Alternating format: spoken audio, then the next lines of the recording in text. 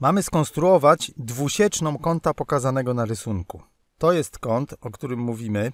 Mamy skonstruować dwusieczną, czyli prostą, albo częściej definiuje się dwusieczną jako półprostą o początku wierzchołku kąta, która dzieli ten kąt na dwa kąty przystające. Na dwa kąty, które mają takie same miary, czyli miara każdego z tych dwóch kątów będzie połową miary tego kąta. Najpierw musimy znaleźć dwa punkty leżące na ramionach kąta, jeden punkt na każdym z ramion, które są równo odległe od wierzchołka kąta. Żeby to zrobić, narysujemy wirtualnym cyrklem okrąg, którego środek będzie leżał w wierzchołku kąta. Promień tego okręgu może być dowolny. Długość promienia nie ma znaczenia. Dwa punkty przecięcia okręgu z ramionami kąta to są te punkty, które nas interesują. Obydwa te punkty, ponieważ leżą na okręgu, są równo odległe od tego punktu, bo jest to środek tego okręgu. Teraz musimy skonstruować prostą, która jest równo odległa od tych dwóch punktów. Zrobiliśmy to już wcześniej, w poprzednim filmie, kiedy konstruowaliśmy symetralną odcinka. Teraz zrobimy to samo.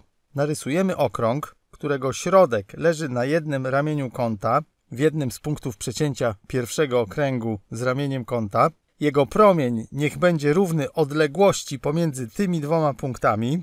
I kolejny okrąg, którego środek leży na drugim ramieniu kąta, w drugim z punktów przecięcia pierwszego okręgu z ramieniem kąta. Jego promień musi być równy odległości pomiędzy tymi dwoma punktami. Musi być taki sam jak promień tego okręgu.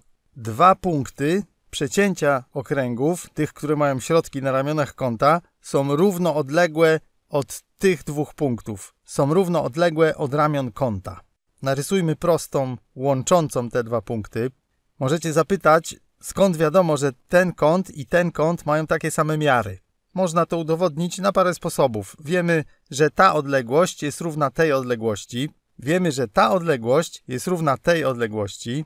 I jeżeli ten odcinek uznamy za wspólną podstawę dwóch trójkątów, jednego o wierzchołkach w tych trzech punktach i drugiego o wierzchołkach w tych trzech punktach, to te dwa trójkąty są przystające. A jeżeli są przystające, to ten kąt musi być równy temu kątowi, bo są to odpowiadające sobie kąty w dwóch przystających trójkątach. Zatem ta prosta jest dwusieczną kąta.